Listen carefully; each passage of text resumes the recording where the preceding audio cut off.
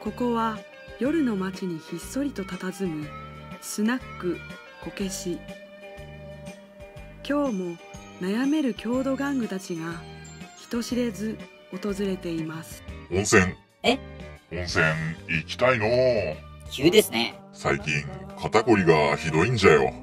だるまさん、肩ないじゃないですか。そうじゃけど、こう、人間でいう肩らへんが重いんじゃよ。あー、福島は肩こりが2番目に多い県だそうですからね。明日行こう、温泉。急ですね。あー、でもいいっすよ。どこ行きます？箱根福島以外に行く意味が？あ、はい、すいません。やっぱ、県内ですよね。いろいろあるし。飯坂温泉行こう。飯坂。好きなんですか？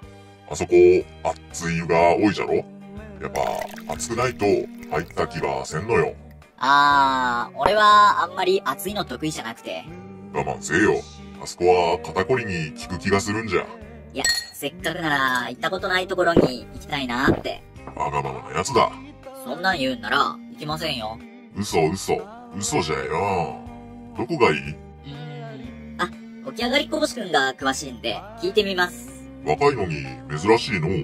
なんか、温泉のブログ書いてて、県内の温泉地全部行ったとか。県内って100カ所以上あるんじゃなかった？じゃ、電話しますね。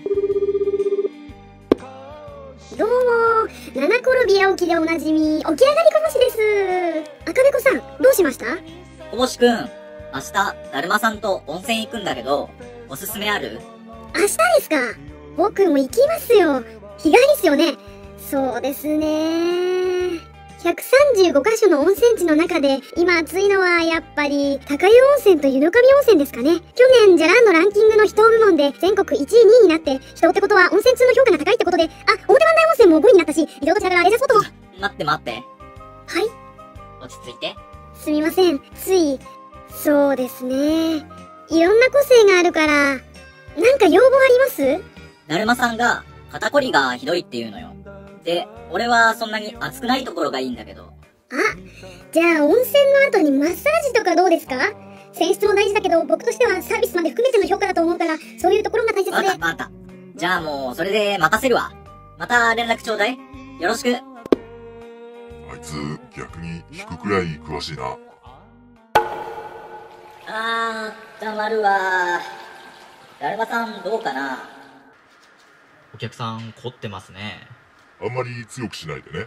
穴開いちゃうから。あー、そこそこ。君うまいね。あー、そこそこ。いいわー。